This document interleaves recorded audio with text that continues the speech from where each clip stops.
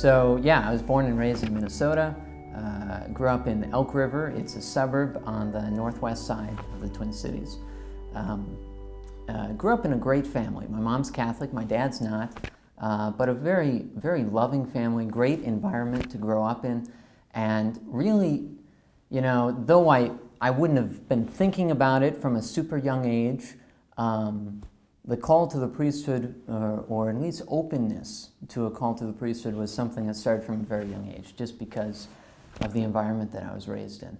Um, we uh, went to Mass every Sunday, went to a Catholic elementary school. We didn't have a Catholic high school around, so I went to a public high school, but still with a good group of friends, good group of, of people who were all involved in the church, and so I was doing that from a, from a very young age.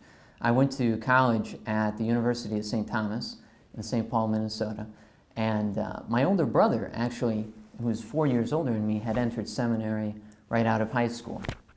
And so when I went to college at the same place, the University of St. Thomas, where he, where he went to uh, minor seminary, um, started to meet some of the same people that he had known there. I became a Catholic Studies major, and uh, I took a class there that had a very profound impact on me, uh, The Search for Happiness, kind of a classic uh, course started by the Center for Catholic Studies at the University of St. Thomas.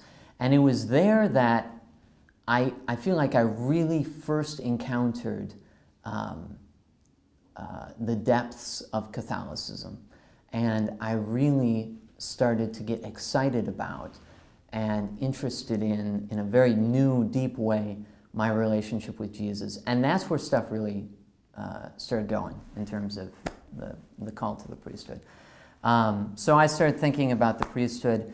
Uh, since my older brother, though, was in seminary, um, frankly, early on, that was kind of an easy out. Uh, you know, God already kind of took one from the family, so I felt safe at that point. Um, and so I would think about the priesthood, but then I was like, I also knew many very holy laymen, and so um, so I, I kind of just kept avoiding it. All throughout college, I was thinking about it. I didn't date anyone because I was kind of on this cusp. I was like, well, I think maybe God is calling me to the priesthood, so I shouldn't date anyone so that if he really wants me, he can call me. But then I wouldn't enter seminary either, so I was just kind of trapped in this in-between world. So graduated from the University of St. Thomas and again was kind of confronted with a moment of decision. Uh, do I enter seminary now? Well, I still didn't, you know, see the clear vision in the sky that I was hoping to see from, from Jesus saying, yes, I want you in seminary. So um, I had also been very interested in teaching. So I was thinking about teaching. I, I applied to some schools to teach in the Twin Cities, uh, but then for various reasons decided not to do that. And so um, I was just working for a little while in the Twin Cities when um, a professor of mine at the University of St. Thomas who had a deep impact on me, uh, who's good friends with Monsignor Shea here in the Diocese of, of Bismarck, told me that there was an opportunity to work for him out at the University of Mary. I came out to Bismarck, I checked it out, and I really liked what I saw. You know, so much of what had impacted me so deeply at St. Thomas, I saw also up at the University of Mary.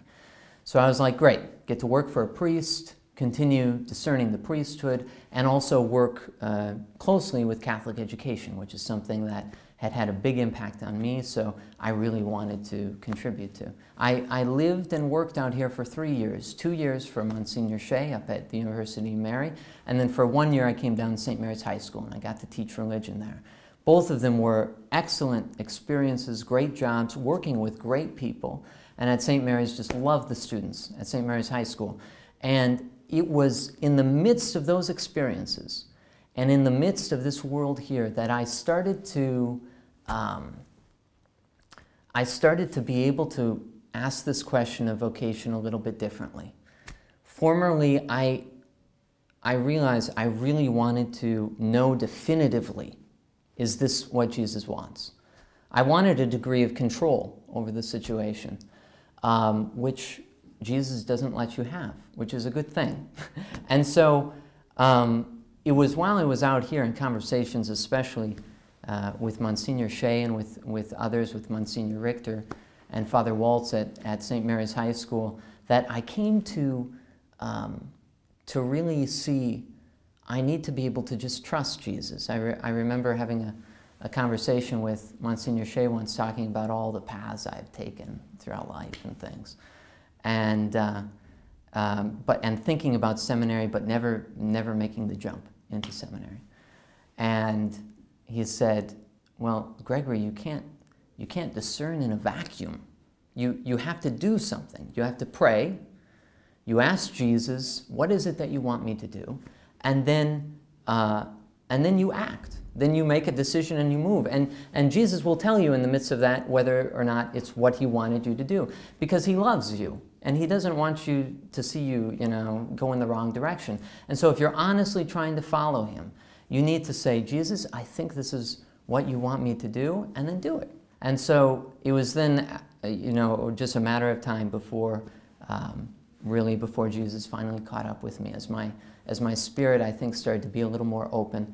And it really happened, you know, it, it wasn't a, a, thunder and lightning uh, moment or anything, but I remember I was at a, a talk by Monsignor Richter at uh, Jerome Richter's house for the young adults. Uh, it was January of 2013, so this had all kind of been piling up.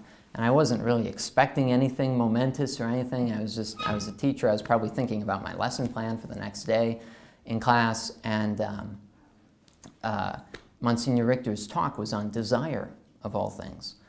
And something he was saying just moved me deeply. Uh, talking about how if Jesus wants you to do something, he will give you the desire to do it. And it just, it sort of hit me, and I sort of realized I want to be a priest. And in times past where, where I had thought about the priesthood, and right away my mind jumped to the things I'd be losing, like, oh shoot, you can't get married, can't have kids, you can't uh, live in the world in, in the same way. This time, that didn't come to my mind. It was simply, I think God has given this to me.